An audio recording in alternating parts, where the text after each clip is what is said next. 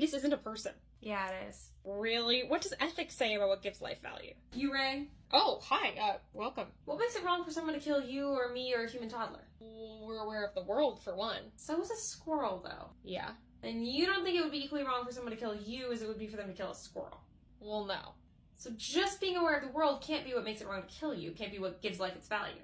Okay, it's being aware of yourself then. Self awareness. Infants can't do that, though. They're not self aware, but we don't think it's okay to kill infants. So, what does make it wrong to kill you or me? What gives life value? The only thing that makes sense is that something like human nature is what's grounding rights. The only logical way I can ground what I already believe about equality is to be pro life.